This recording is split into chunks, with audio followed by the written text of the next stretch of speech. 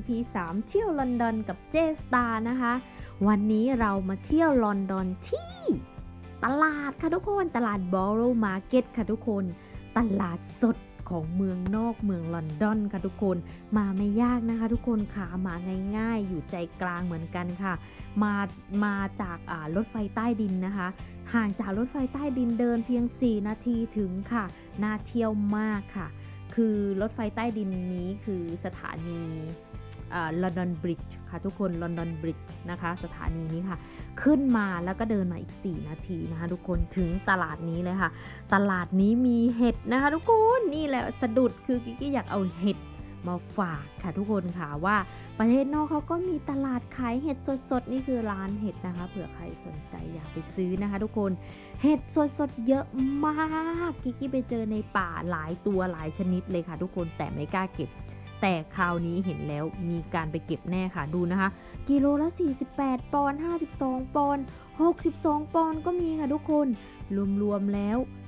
10 ปอนด์อยู่ที่ 400 นะคะ 4 46 1,600 ค่ะนะคะ 40 ปอนด์คือ 1,600 คือโห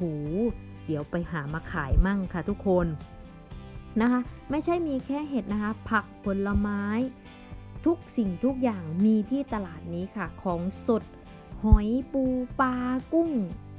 สดๆมีหมดค่ะ และตลาดนี้ค่ะ พี่เขานิยมมากินหอยค่ะทุกคนพี่เขามากินหอยกันที่ตลาดนี้แหละค่ะทุกคนค่ะ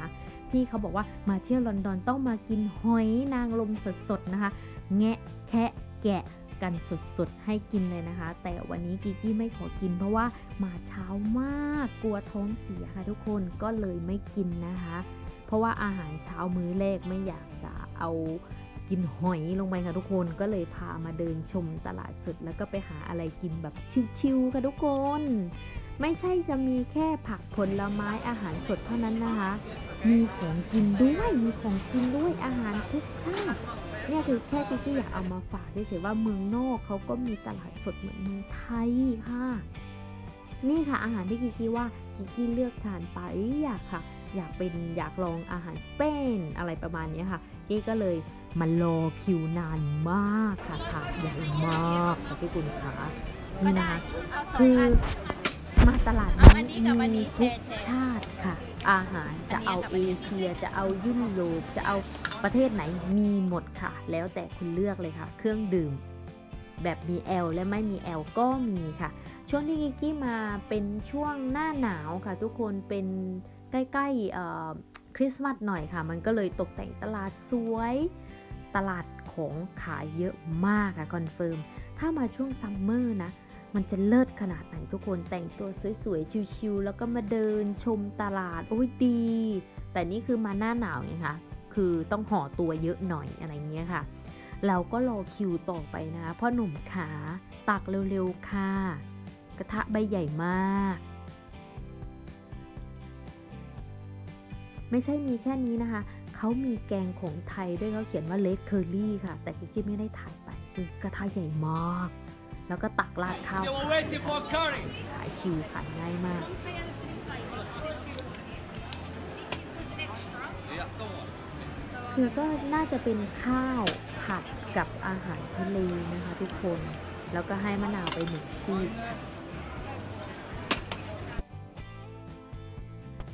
เพราะหนุ่มทั้งตักแล้วก็เสิร์ฟเองนะคะ ทุกคนคิวก็เลยยาวไปนิดนึงค่ะ จานนี้ก็น่าจะอยู่ที่ประมาณ คิดแป๊บหนึ่งนะคะ เจคนจ่ายเงิน7-8ปอนด์ค่ะทุกคน คิดเป็นเงินไทยเจ็ดสามยี่สิบเอ็ดเจ็ดสี่ยี่สิบแปดสองร้อยแปดสิบสามร้อยบาทประมาณเนี้ยค่ะ แอน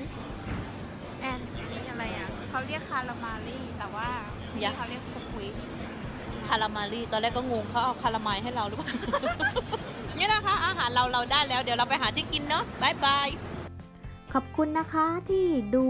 ทริปลอนดอนของเราจบแล้วค่ะ ขอบคุณค่ะ